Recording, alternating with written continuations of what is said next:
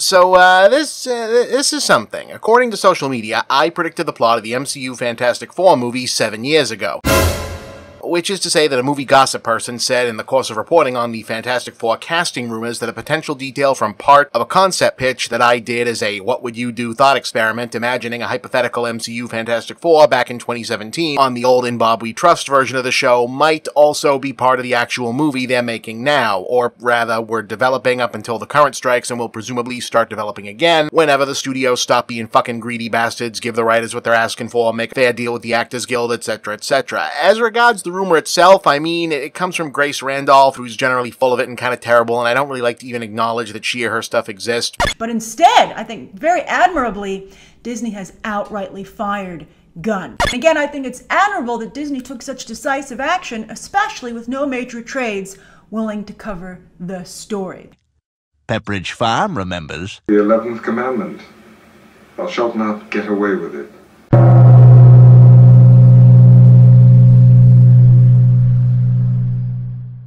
Does apparently have people leaking good intel to her sometimes, so who knows? I mean, maybe this is a thing, maybe it's not. The thing is, as I've always hastened to add about this since it's come up a few times, I was never the first person to suggest the thing I'm getting credit for suggesting, but it actually does mean a lot and feels good to see people remember this after seven years and shout me out about it, so I went back and rewatched both episodes I made laying it out, and yeah, actually, that was a good one, right? Kinda holds up. And since a fully new episode on the other end is taking some time to finish, I thought I'd give this a refresh since people are talking about it, you know, represent both parts and talk about it in hindsight since, holy shit, what if I did call it about some parts of this, even though it really was more of a fan fiction thing than a prediction or a theory. And to be honest, that's really what made the difference as to whether or not to remake it into its own new thing is that as a prediction video, eh, it's whatever, but as a discussion, I guess, of how story works, how story doesn't work, the way Marvel does stuff versus the way other movies do stuff, uh, background of my thoughts, feelings about storytelling in this genre and about the Fantastic Four in general, I think has more value than the prediction stuff would, whether it turns out to be right, which I think is like, you know, like a very minor chance. Like I said, I'm grateful for the credit, feels good,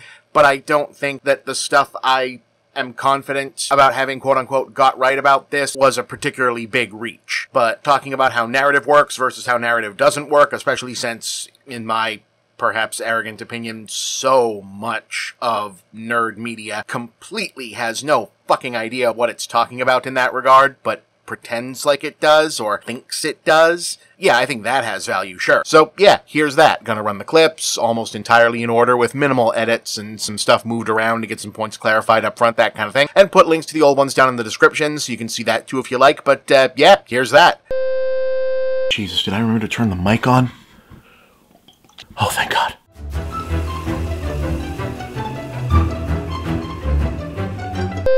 Alright, I said I was going to do it, so let's do it. You know the drill. Imaginary thought experiment pitches for famously difficult movie projects. Our subject this time being the hypothetical return of the Fantastic Four to the Marvel Cinematic Universe proper. Now, the problem with doing the Fantastic Four in the Marvel Universe is always going to be that the Fantastic Four themselves were the first true Marvel Age superheroes. Yes, Captain America and Submariner came first, but they did so in very different Golden Age circumstances, and they both later got reimagined in very different forms after the Fantastic Four had debuted and set the new tone. As such, by now a lot of what made them unique and original has been harvested by other properties. And if there's one important takeaway from the stunning failure of Iron Fist, it's that but not with this specific character we haven't is not a good enough reason to adapt something whose themes and gimmicks have already been adapted better elsewhere. So how do you give a new superhero family story a reason to exist in an era where team-ups are now the norm for the genre, and pseudo-family family teams have been especially done to death by everything from Avengers to Guardians of the Galaxy to Lego Batman to Justice League and New Mutants mutants, probably.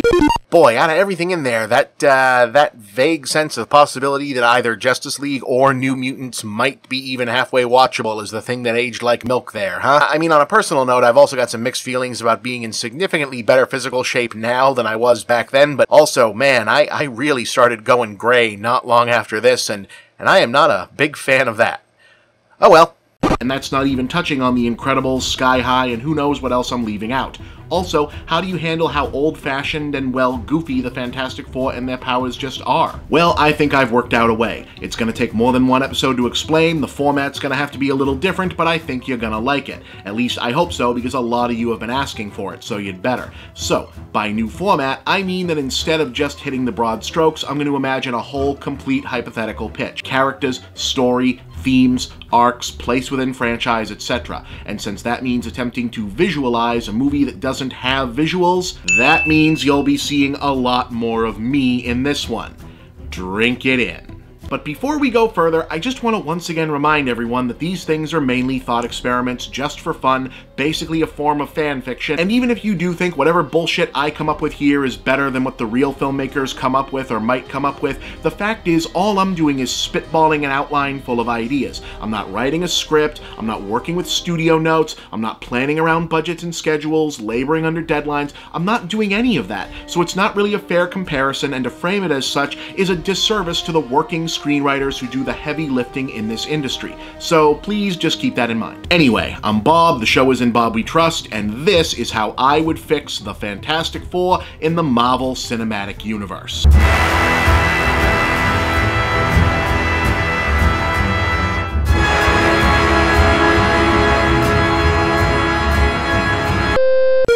Those of you who are newer here to the scenery, In Bob We Trust was basically what we had to call the big picture for the period between my two tenures at The Escapist, which originally broadcast the series because it wasn't until the second time through that I owned the rights to that title and all the branding, and when the second contract was up, which occurred somewhat inconveniently in the midst of the worst part of the COVID pandemic, the lone bright side was that I retained the rights to the series and got to keep the original name when we went indie again. And, uh, oh, speaking of that whole plague situation, in case anyone forgot, and since we're talking long-term events in reshaped entertainment business, cue PSA.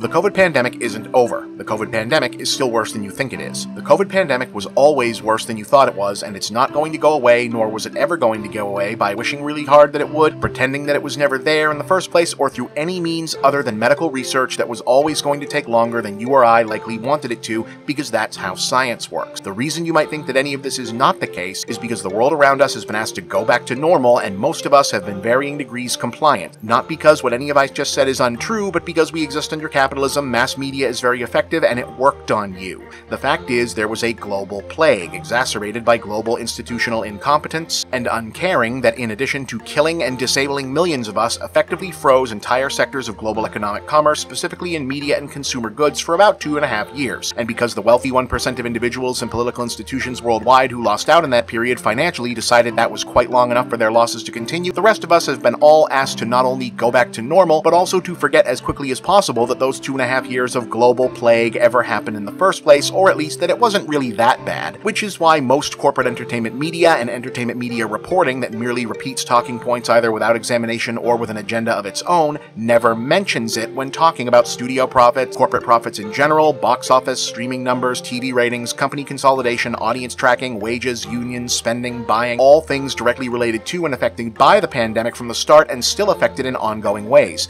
Therefore, in the same way that you'd be very skeptical of any historical presentation about significant events of the mid 1940s that failed to mention, oh, and also World War II was happening, so that probably affected this in some respect, you should have that same skepticism and apply it to anyone talking about anything happening in business, politics, or culture that does not make, oh, also, that global viral plague probably contributed to this too, a central part of their thesis, because it is central to everything, whether we want it to be or not, for the foreseeable future. Thank you for listening, and stay safe.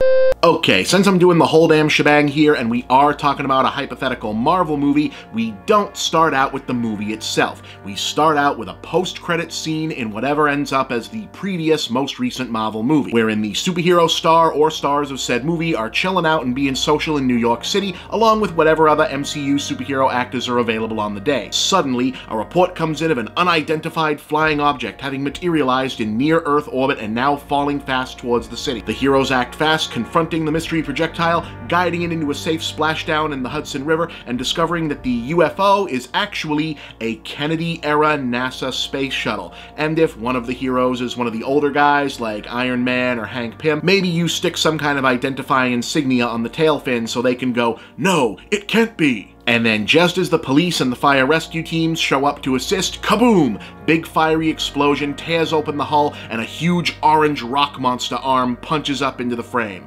Hold, cut to black, see you in six to eight months. Yep, this was far enough back that we weren't factoring for this might be a Disney Plus thing in two months, this might be answered by a Disney Plus thing in two months. And look, I'm, I'm not even anti Disney Plus Marvel stuff overall, but it certainly was a different scene, right? Okay, so for the movie proper, we do not open on that post-credits moment. Instead, we open with the traditional origin of the Fantastic Four, square-jawed super scientist Reed Richards breaking into a launch site in order to commandeer his own experimental spaceship and launch anyway even though the government has cut his funding and said he's not allowed to. With him is his best friend and pilot Ben Grimm, his fiancée and research partner Sue Storm, and her pain-in-the-ass teenage brother Johnny because she's his legal guardian and he pretty much has to be there. They all get into the spaceship, confident in Reed's abilities, and in an action-packed defiance of all the government and army guys, they blast off for outer space as the on-screen text informs us that this momentous day happens to be November 8th, 1961. Yes, the same day and date as the first issue of the original Fantastic Four comic was published. The Fantastic Four of the Marvel Cinematic Universe will be a family of superheroes from the early 60s with all the period-specific behaviors, mannerisms, outlooks, and aesthetic preferences that imply. Alright, so apparently this is what was said on that one gossip person's feed that got people to tag me and start this all up, that the Fantastic Four themselves come from the 60s and are out of their time like Captain America was in the new movie. Now, I'd heard this rumor off and on for a while. Back when I first suggested it, I'd heard it. Like I said, it wasn't the first time. I wasn't the first person to suggest it. I've heard it a few times since before this it's been a thing that's bounced around. People have told me that I'm the person that they heard it from most. Maybe that's true, I don't know, but pretty much since they started putting this current version of the project together, it's been going around that they were at least going for a retro vibe. This is the first time in a little while that I've heard the time travel thing start up again, though. It seems like there's a general agreement that the Fantastic Four need a retro thing to stand out, that what distinguishes them from other Marvel characters is that they are so specifically and distinctly tied to the era of their inception visually uh, they've got Dante Ferretti booked for the production design. He's a legend. He's worked for Scorsese, Zeffirelli, Fellini. I mean, go look at his filmography. He was the production designer on Salò, The Decameron, Julie Taymor's Titus, Casino, Baron Munchausen. I mean, you don't call that guy if you're not doing something interesting, usually with some very specific flair, at least in theory. Again, some or all of this could be bullshit, or not. I remember back before they tried the first time, it was almost going to be a movie just straight up set in the 60s. Maybe that's what they're doing again. People really liked WandaVision and the retro vibe in Loki. At this point, anything can happen. And the same accident that gives them their superpowers will also simultaneously fling them forward in time to the contemporary present day Marvel Cinematic Universe, thus granting license to unapologetically use the characters in the authentic, old fashioned, kitschy 60s personas they've always worked best in, and to pack the movie with retro futurist design sensibilities and retro cool early 60s fashion, music, and decoration. Marvel meets Mad Men. In fact, that would pretty much describe this version of Reed Richards. What if Tony Stark was also Don Draper? Cool, right? And I can't even take credit for that part. This is actually a fan theory that's evidently been in circulation among fandom on the internet for quite some time. I first heard about it from a friend on Twitter, and I'm told Diamanda Hagan is also incorporating it into a Fantastic Four speculation video of her own. In any case, wherever it comes from, I agree it is a perfect place to start from. Seriously, Marvel, steal this part steal it from someone. But you might ask, how is this different from what they already did with Captain America? Well, the thing is, what makes Captain America work, especially in the MCU, is that no matter what, you always know he's gonna do the right thing. Like in Winter Soldier at the beginning, when the Falcon assumes he must be having it rough in the future, and instead Cap is all, no, actually, I'm focused on all the positive things about today. Because the whole point of that character is that he was already the best guy ever before they gave him the suit and the powers.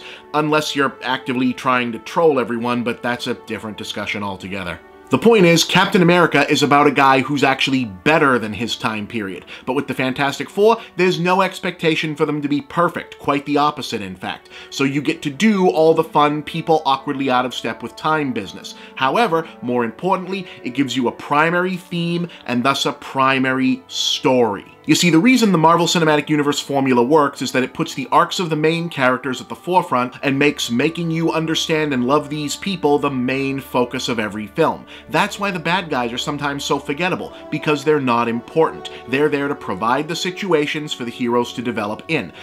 Past Bob is right. Imagine what would happen if at some point Marvel even partly or briefly forgot that lesson and put too much focus on a villain as the driving focus of selling a movie or the entire arc of a phase of movies. Man, that could that could turn out to be a a mistake for a like like a couple different reasons. Yeah. So while we'll talk about villains and plot plot plot plot plot stuff in part 2, this first part all about primary story and character. So, the team is up in space in 1962 because Reed wants to use science to open a wormhole because Space Race Against the Soviets ask your grandparents. They go through the wormhole and wind up in what they'll call the negative zone, but we'll recognize as one of those freaky kaleidoscope dimensions from Doctor Strange. So I guess if I made this now, there'd probably be a bunch of quantum realm, multiverse, Spider-Verse, sacred timeline, or things we'll hear about Deadpool 3 in here stuff instead, but you get the idea.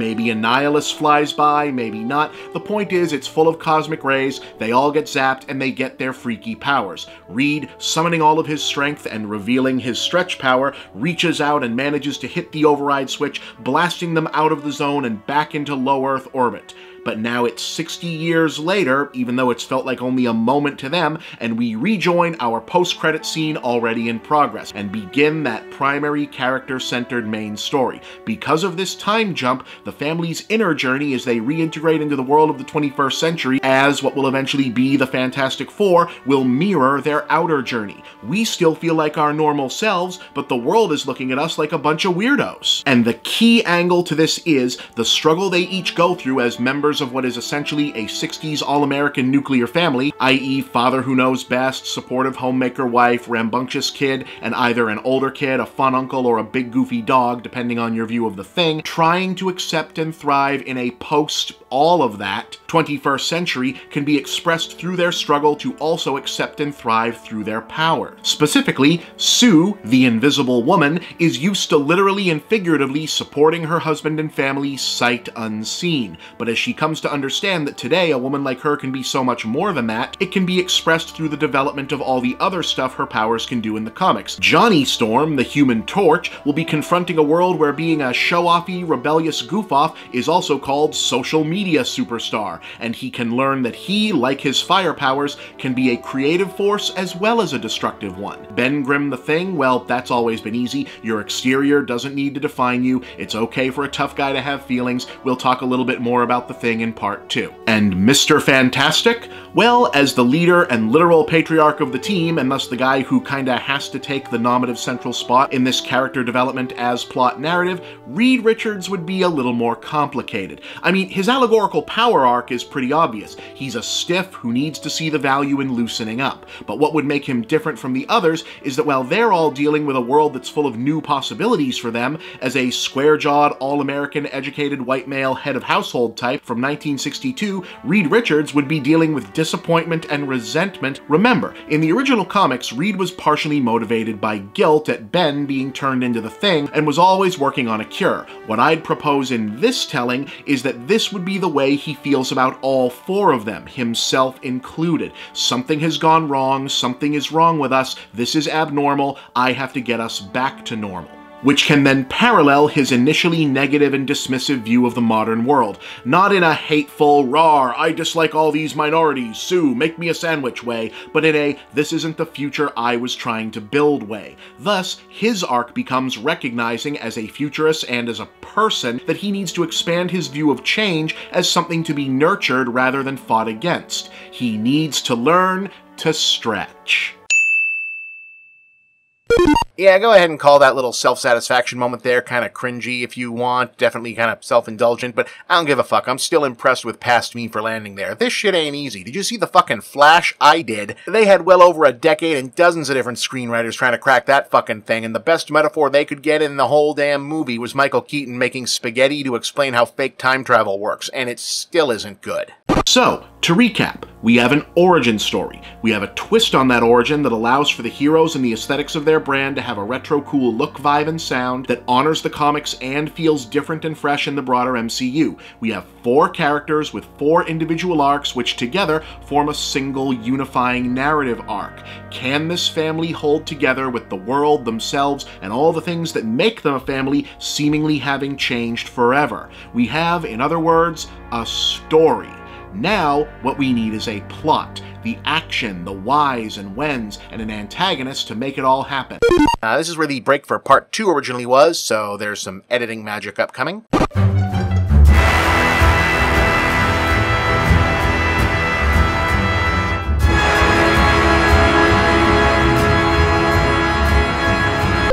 Alright, so to recap from last time, the foundational gimmick of this pitch is that in this telling, the origin story of the Fantastic Four begins in the early 60s, and the cosmic accident that gives them their powers also shoots them into the future, aka our present, thus giving us a strong thematic through line about accepting and thriving amid unexpected changes to both the world and your place in it, and an excuse to do fish out of water jokes, and have lots of groovy retro fashion, design aesthetics, mannerisms, and needle drop music cues surrounding the main characters. Our heroes are thus a big lug whose monstrous new form has ironically only made his metaphorical skin thinner, an overeager young brat who has a lot to offer if only he can learn to control himself, a woman achieving her potential by recognizing she can be more than an unseen supporting player, and a well-meaning but rigid and reflexively dickish old-school dad figure who needs to learn the value of loosening up most immediately by coming to understand that what's happened to him and his family is not a problem to be cured, even though he'll be trying to do that for most of the film. Their growth through the challenges of their individual arcs and shared arcs en route to becoming the Fantastic Four, thus forming our central theme and main narrative thrust. But growth requires challenges, and in superhero movies, challenges are created by bad guys. And for the Fantastic Four's first adventure in the Marvel Cinematic Universe,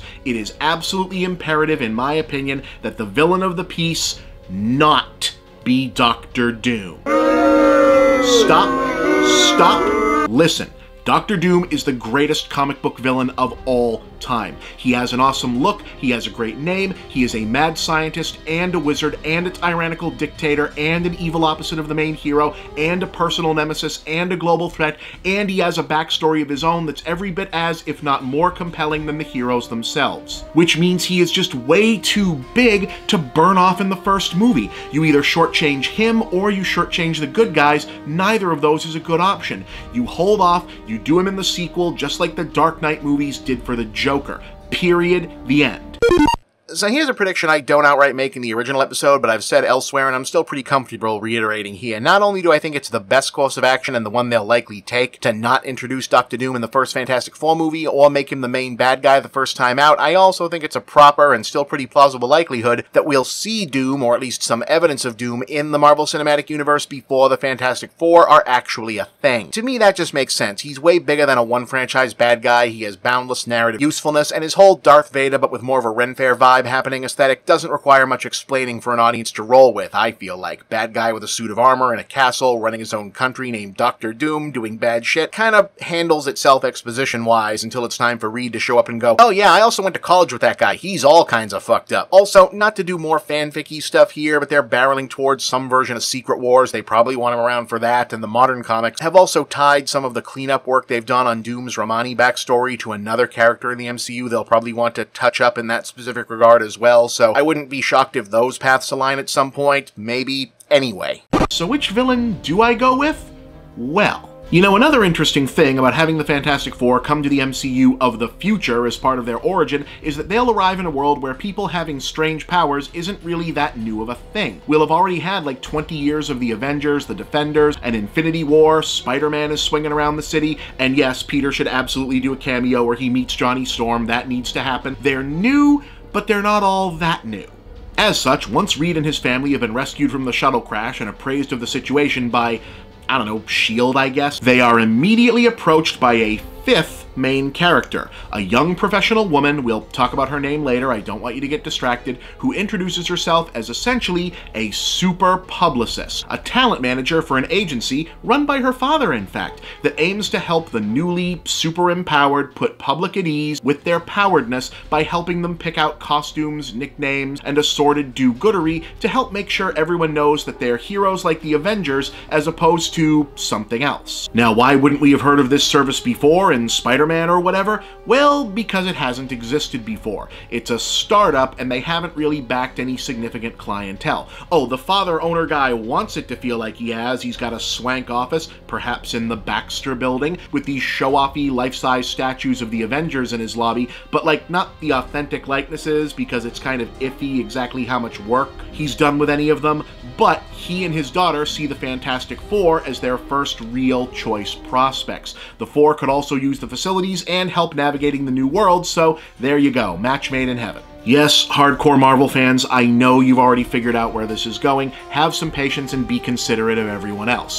Hey, do you think it's notable at all that the MCU version of Taskmaster specifically doesn't have the last name Masters anymore, so it's no longer a random coincidence that a bunch of significant unrelated supporting characters all have that convenient surname like it is in the comics? So as mentioned, Reed will be spending much of his time trying to recreate the Negative Zone experiments in a lab environment in an attempt to cure himself and his teammates. But the others will get to see in action, and Reed eventually just later, encouraged to do so by the publicist lady, stopping crimes, thwarting disasters, fighting C and D list Marvel bad guys for the right kind of fan service, like maybe the Wrecking Crew, maybe the Dogs of Hell, maybe some one-off bad guys from Agents of S.H.I.E.L.D. The important thing is that each scenario will be conveniently matched to each member of the team showing off the usefulness of their specific powers.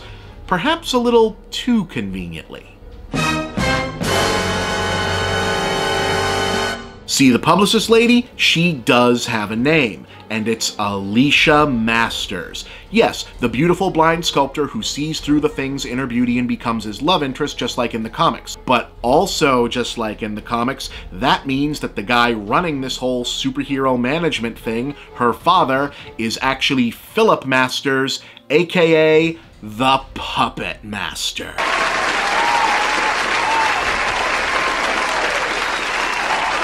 Thank you. Yes, I'm pretty proud of that one. Yes, the villain of our piece is the Puppet Master, a classic Fantastic Four nemesis who doesn't require the kind of explaining that Doom, the Mole Man, or Galactus do. Now, in the comics, the Puppet Master's puppet mastering is mostly about telekinetically controlled puppets made from radioactive clay, but for the purposes of this movie, at least to start with, it'd be more of a metaphorical thing. He's a puppet master because he's not just looking to nurture and manage superheroes, he's also, unbeknownst to Alicia or to anyone else, creating and manipulating the supervillains and the crimes and the accidents that his new clients end up being on hand to prevent, thus profiting him on both ends. But his big scheme, his now I'm a supervillain scheme, will be to manipulate and exacerbate Reed's disenfranchisement from the rest of the team and from modernity while also sabotaging the Negative Zone experiment to create a massive accident designed to cause a bigger than ever hero opportunity for the unwitting Johnny and Ben, where even though they'll likely rescue many people, a bunch more will very likely die,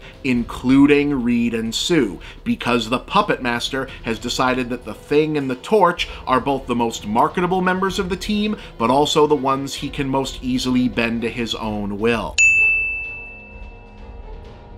You know, P.S., whether or not the first half of this predicts the premise of the MCU Fantastic Four, how about some credit for the fact that this whole part absolutely predicted the premise of Incredibles 2, right? Or do I not get credit for that one because we're all finally quietly admitting to ourselves that Incredibles 2 was only just okay? Fortunately, the Fantastic Four figure this out, almost too late of course, and manage to pull together, realizing the full potential of their abilities and the strength of their teamwork, thus bringing their respective shared arcs to a satisfying conclusion. And then, having coalesced as a fully functioning team, they confront Masters himself at his office and, well, because I, I gotta have some proper old school Puppet Master stuff in there, it turns out the tacky Avengers statues in his lobby are actually robots. And our big go home action sequence is the Fantastic Four fighting and defeating robot puppet doppelgangers of the Avengers. And yeah, you bet your sweet ass the thing fights and defeats the robot Hulk and then makes a point of wanting to know how he'd fare against the real deal because you've got to let people know that's gonna happen.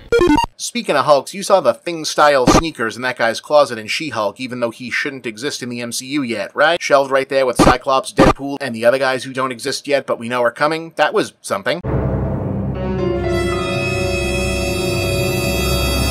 Oh, and also Reed personally confronts the Puppet Master himself, thus symbolically overcoming his own issues with being too controlling by defeating an enemy who is the very embodiment of being too controlling. We close with the Fantastic Four, moving into swank new digs in the Baxter building as tenants of their new landlord and business partner Alicia Masters, looking ahead to a new world of possibilities, the end.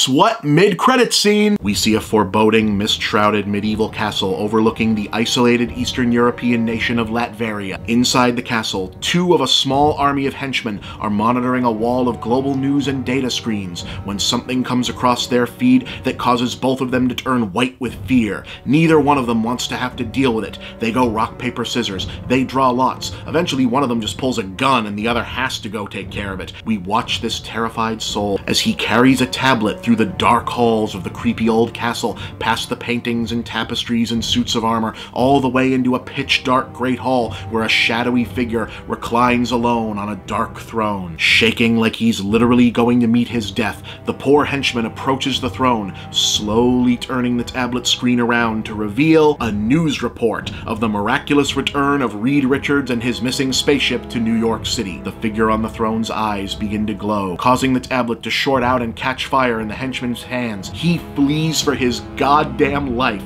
as a single metal glove fist slams down on the stone armrest of the throne. Finally, up into what light there is, stands the unmistakable figure of Dr.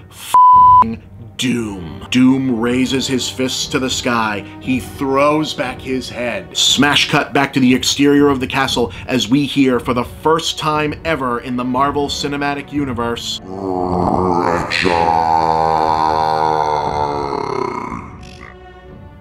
So yeah, that's how I do it. This was actually pretty fun to write. I hope it was pretty fun for you to watch. And Marvel, if you're out there, I sincerely believe you can do better than I just did. I mean, if you disagree, let's talk about that. You'll find that there is surprisingly little about me that is not for sale. Yeah, that's even more true seven years and a plague later. I mean, I ain't crossing a picket line during this strike, but after that, for real, I'll shoot my shot on whatever you got. You need a draft on NFL Super Pro, I'll pitch on NFL fucking Super Pro. Hit me up. I'm on YouTube. Shame and dignity are first casualties. Let's talk turkey. In all seriousness, looking back, I think this came out pretty good at the time, and I think as a speculative imagination outlook piece, it holds up pretty decently as well, or as decently as any kind of overeager fanboyism can, I guess. As to the question of whether or not any of this might coincidentally turn out to be right or predictive in the actual actual movie, I have no idea, and I don't know what it proves or doesn't prove other than I've been doing this long enough to be reasonably good at guessing out common themes and beats in mainstream movie plots. Should I do more stuff like this again, maybe? I've been thinking of taking a longer outlook at James Gunn's DCU planning, but I don't want to jinx anything. Let me know in the comments what you think. The only issue I might have there is that these kind of things take some work, and Patreon is running kind of late lately, but if I saw that go back up, maybe? I mean, tell me what you think. Nothing's set in stone. For now, I'm Bob, and that was a look back at the big picture.